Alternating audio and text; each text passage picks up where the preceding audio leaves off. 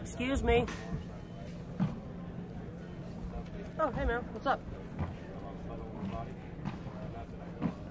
What on earth are you holding? Oh, this? This is just my AR pistol. That's not a pistol, that's an assault rifle. Oh, trust me, you've got nothing to fear. See, there's this little rainbow unicorn on the side, so it's perfectly safe for everyone to use. So, you got nothing to worry about. Are you okay? Where are you going? Calling the police, the FBI, and my mom.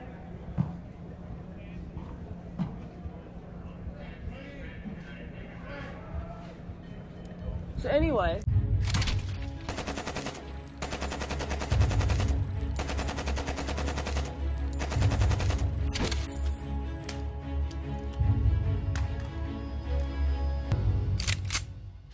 What's going on everybody? My name is Blake. You're watching Midwest Ordnance. I'm finally getting around to doing a video on the first AR build that I've done. It's it's uh it's something, but I'll explain that here in just a little bit. So I've been eager to make this. I wanted to show you guys this gun for the longest time. It took me about the better part of uh, six, seven months to actually get this thing built. So I'm finally going to get to show it off today.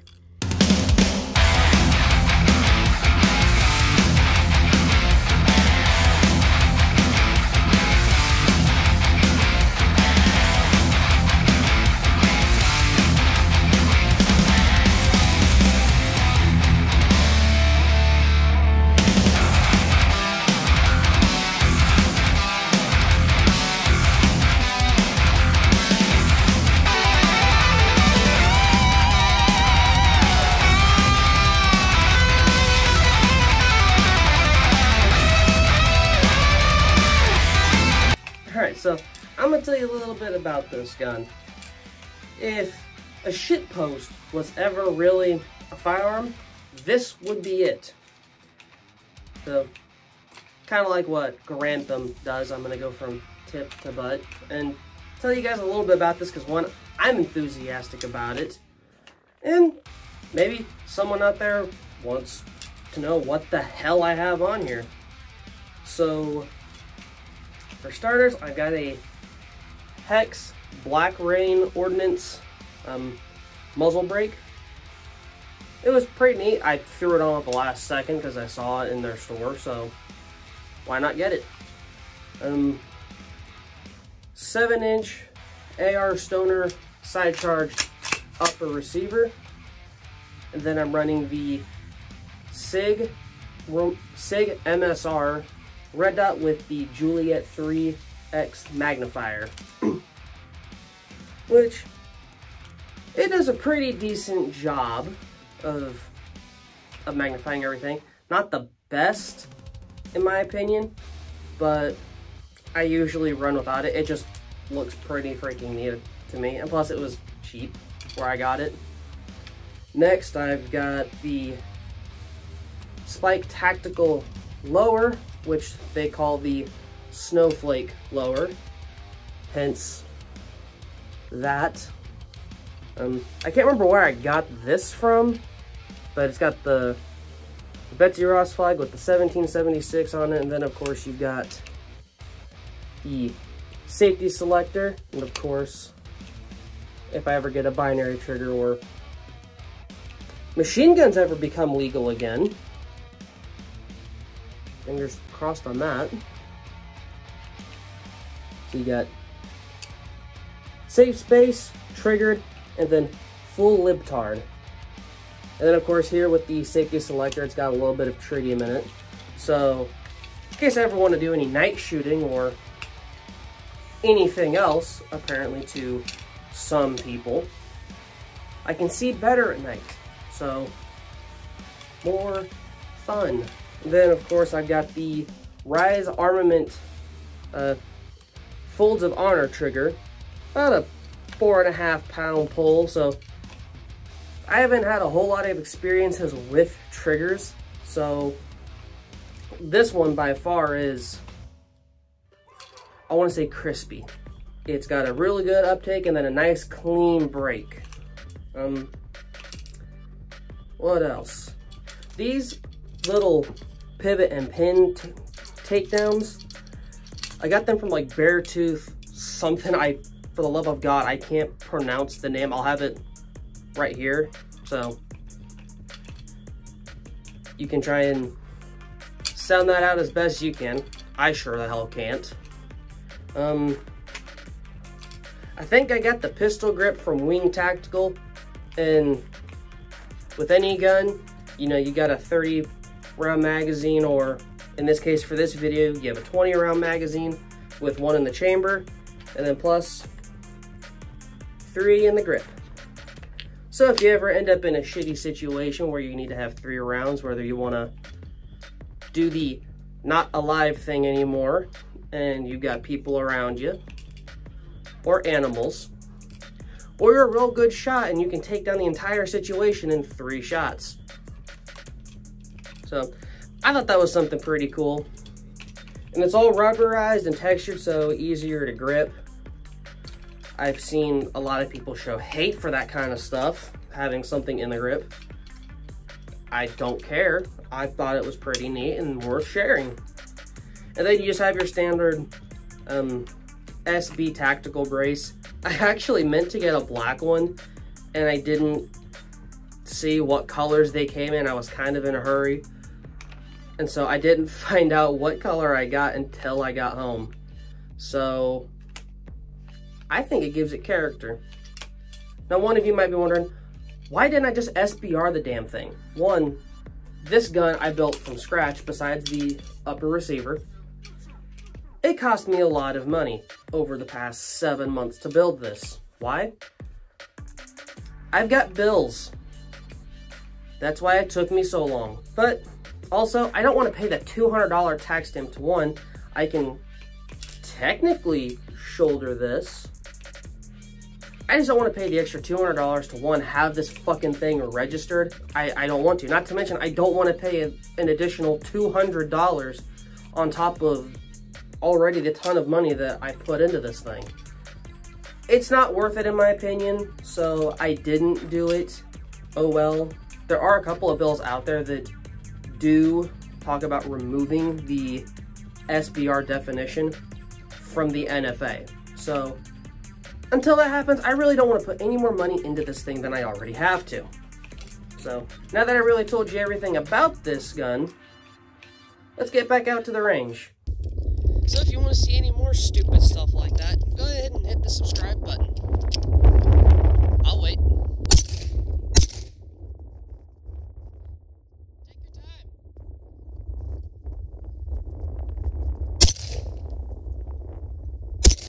And so now that I shot a little bit of my gun, talked about it a little bit, I know some of you, especially being overseas, because I see that, I, I, I, see you, probably wondering what the unbridled power of the American 5.56 by 45 holds. Well, I'm going to test on some Bush's baked beans. And this is how we open cans in America. Eat the beans in three, two, one.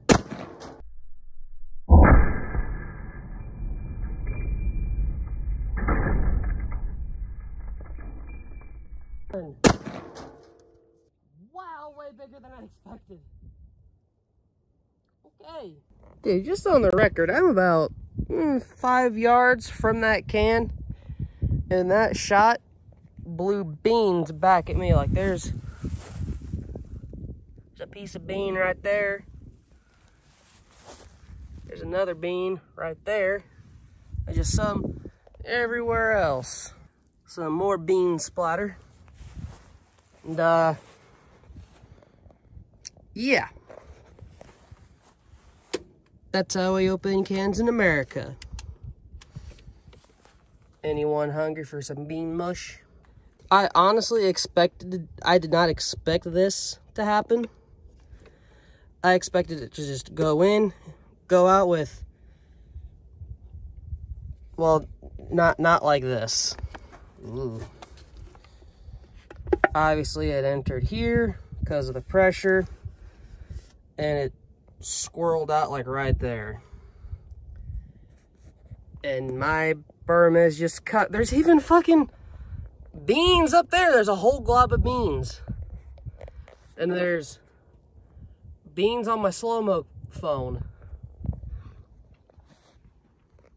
Covered everywhere. Y'all want to see me shoot it again? You, you want to see me shoot it again? Prepared to get beaned.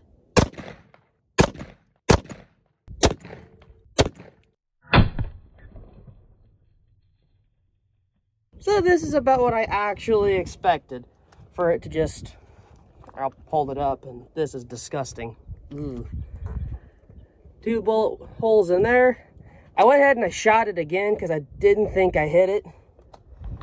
And at most of what I was actually expecting was something more along the lines like that.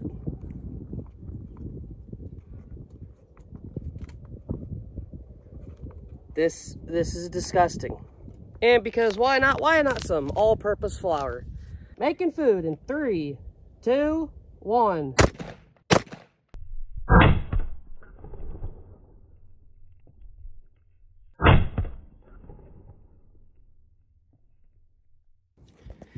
All right, so that's where I hit the first time, and I think I hit here the second time because I aimed a little bit lower on the second round.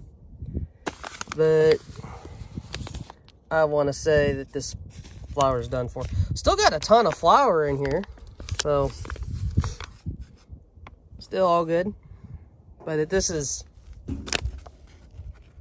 that that's just gross. That's all milky and shit. It's just everywhere. It's just everywhere. Like I said, it's even on my slow-mo phone and even on the front of it. It's it's just everywhere. But I got another thing because I was always told to clean up after my messes. All right, so for the very end of the video, I got two big one gallon jugs of water to clean up all that crap over there.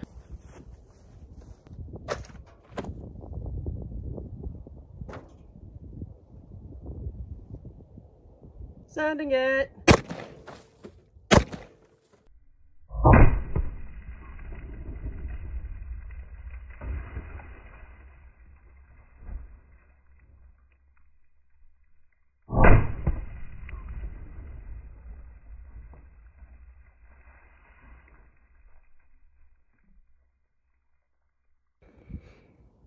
Well, that's just disgusting. Somehow they both ended up here. Like, I'm not gonna lie, it smells a lot like the feed that you get like a feed store for your animals. That's what all this smells like. But, uh, yeah, I, I would not eat that at all. Little bulge underneath just from the pressure of the water, I would guess. It didn't clean it as well as I thought. But I've got another solution for that.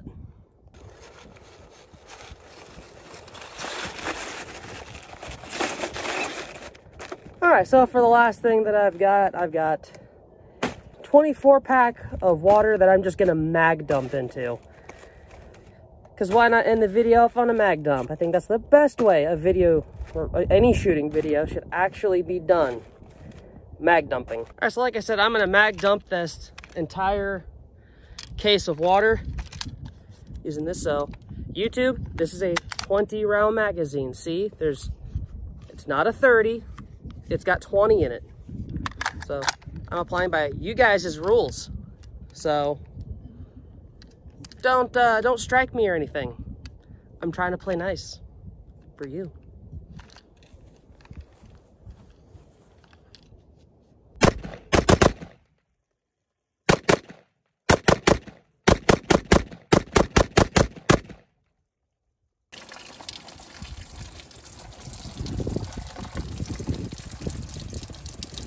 That is nasty.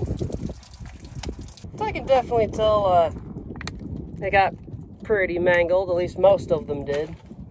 There's still a few in here that did survive. Got one. Seven survivors out of that whole 24 pack. But here at my range, we don't have any of that. Mm-mm, no.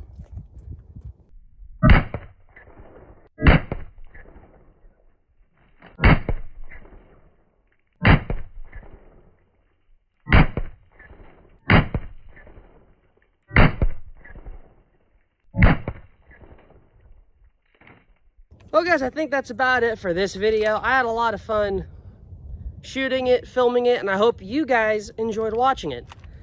I've been really wanting to show this gun off for the longest time. If you've been around on my Twitter or if you've been around on my Instagram, you will know exactly what this gun is. I've teased it a little bit. I've, especially on Instagram, like I've built it over, like I said, about the course of seven months, I think. I got it, I got the lower part last summer and I've just been building on and on and on to it. But I hope you guys enjoyed the video, and if you guys are new to the channel, please like, comment, subscribe. It really helps me out, really gets my content out there. And if you really want to follow me on my social medias, I got my Twitter and my Instagram down in the links below. So my name is Blake. Thank you for watching, and I'll see you guys next time. Peace.